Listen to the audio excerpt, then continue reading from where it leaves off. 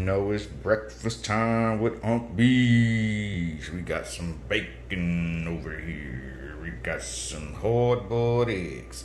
And I got my scale ready to show you that, hey, when you use Unc B seasoning, you have no choice but to reduce the amount of sodium that you use. Let's use this for an example. You see the weight on the scale, 5.3 ounces. We're gonna take some of this Uncle B's. Remember to shake that bottle up. And I'm gonna sprinkle just some of it. Remember, a little bit of the seasoning will take you a long way.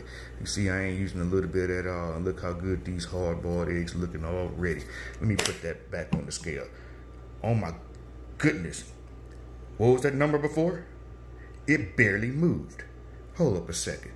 You mean to sit there and say that these eggs are just looking so good and awesome? A little bit of the season took me a long way and the scale barely moved?